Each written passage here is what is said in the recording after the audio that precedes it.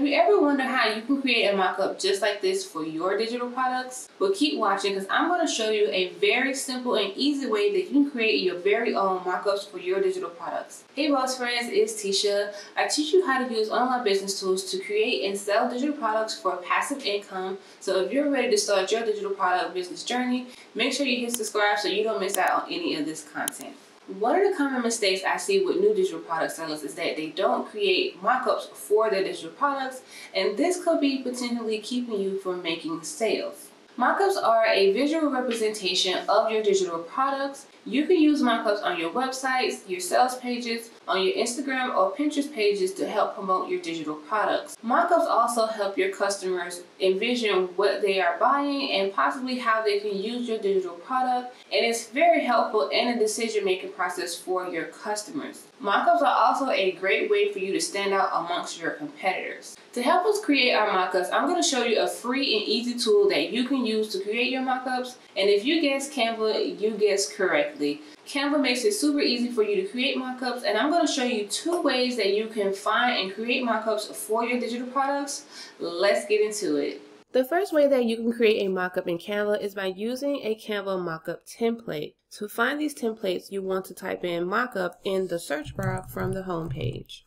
It's going to populate a variety of templates that you can choose from. There's print, t-shirt, devices. You just scroll until you find one that you like. Keep in mind that some of these templates are only available with a Canva Pro account and they will be indicated with the Canva logo. So you will need to have a Canva Pro account in order to use those particular templates. Now you are able to use these templates to promote and sell your digital products. You're just not able to resell the existing template as your own. Once you find a template that you like, you simply click on that template. And another great thing that Canva does, it recommends to other templates that you may like based on your selection. So you can choose from one of these and I'm going to actually choose this one. And once you have found a template that you're ready to use, you simply want to click on customize this template. Now, in order to add your digital product to the mockup, you need to make sure that you have your digital product saved as an image. So I have a workbook here that I created in Canva and I'm going to save these pages as an image. To do that, you want to go to the top right hand corner, click on share, click download. You want to make sure that the file type is either PNG or JPEG. If you have multiple pages, you want to click on select pages, deselect all, and then select the pages that you want to download as an image and use in the mockup. And then click done and click download. If you want to see how I created this workbook, I will leave a link to that video down below in the description box. Once you have all of your images downloaded, you want to upload them to Canva. So from inside of the Canva editor, you want to go to the side toolbar, select uploads, click uploads, and locate your images and upload them to Canva. Once your images have uploaded to Canva, you want to just simply drag and drop them into place. And just like that, they have been added to the mockup template. Then you can customize all of the other elements such as the text and colors to make sure that it matches your style. So let's change this a little bit to my colors. And then I'm going to change the text to workbook once you've done adding your images and customizing, now you have a mockup that you can share your social media pages or your online shop. And again, you can just go to the top, click share and click on download and download this to be used wherever you want to use it. Depending on the type of template that you use, you can also create a image with a transparent background. To do this, you want to hit duplicate and then you want to delete all of the elements that you don't want to show. So I'm going to delete all of these elements.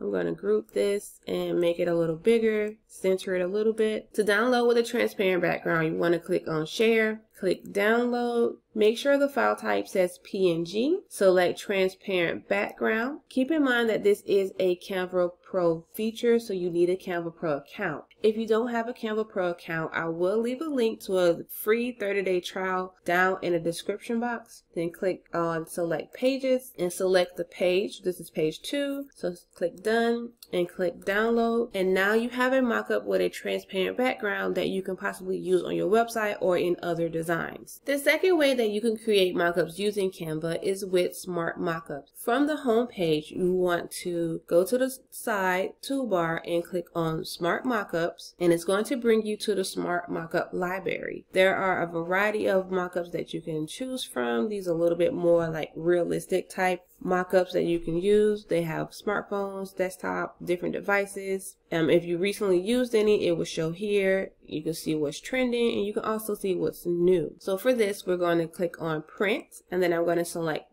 books and then you can just scroll through the variety of templates that are available through Smart Mockup. Now, as you can see, a lot of these mockups are premium mockups and only available with Canva Pro. Once you find one that you want to use, you simply click on the mockup. To get started, you want to click on select. You can upload a new image by clicking on upload. You can choose from images you've already uploaded to Canva, or you can also use a recent Canva design that you've already created. I'm going to select this image that I've already uploaded and hit select and it will show me my image in the mockup. You can adjust the image if I if you need to. Once you adjust it, you just hit save. So you want to click on save mockup and Canva is going to give you the choice to use this mockup in a new design or download it as an image. I'm going to select download and it's automatically going to download it as a PNG file. Now here's a quick bonus. You can also access smart mockups from inside the Canva editor. Let me show you how to do that. So you can click on create design. We're just going to choose Instagram post for this tutorial. You want to go to uploads, add your digital product image to